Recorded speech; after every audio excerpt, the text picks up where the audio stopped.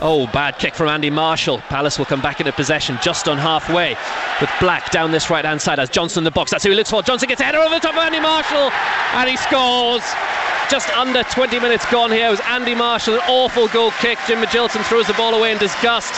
Tommy Black picked it up down this right hand side. Couple of touches, ball into the centre, and the looping header from Andy Johnson. Town a goal down. Richard Naylor cleared it comfortably enough. Drops onto the edge of the box. Can Shipperley bring it down? He can. Turns away from his man. Not shooting opportunity. Great tackle from a town player, but they've scored anyway. Crystal Palace have doubled their lead. Up at the back from Ipswich Town. Hands are on heads. It looked like they had opportunities to clear it. They didn't. 16 minutes gone. Crystal Palace 2, Ipswich Town nil. Corner in by Jim Magilton. Naylor's up there, gets the flick on across to the far side, and Richard Naylor has scored. Ipswich Town are back in this. He'd got forward. He's been a nuisance in recent weeks. He's got a few goals this season.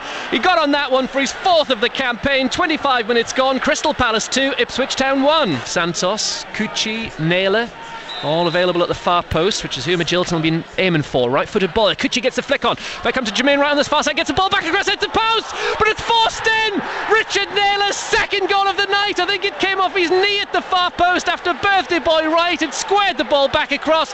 Who cares? Crystal Palace 2, Ipswich Town 2. Richards helps it on down the left for Westlake. Shouts of handball. But Couñago's in there. He slides in on the ball from Westlake. A goal from nothing for Town on this occasion. They've completely turned things around. It was 2 0 after 16 minutes, but after 32 minutes of the second half, get this Crystal Palace 2, Ipswich Town 3. Tommy Miller will come out and challenge Popovic, who turns a nice ball to Routledge. He's got goal side of Tommy Miller. Tommy Miller makes a chance. Oh, an awful challenge from Tommy Miller, and quite rightly a penalty to Crystal Palace. An absolutely shocking challenge from Tommy Miller, and I'd be very surprised to see it. A single Ipswich Town player argue, and not one of them has. Forward comes Freedman.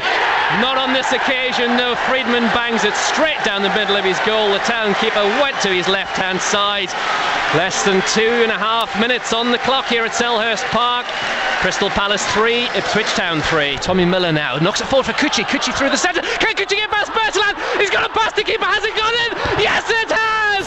Shefki Kuqi's third goal Ipswich Town. Less than a minute after Palace had made it 3 0. He lifted it over Berthelin. A couple of bounces. The defender couldn't get back. 43 minutes gone in the second half. Oh, what a game. Crystal Palace 3, Ipswich Town 4.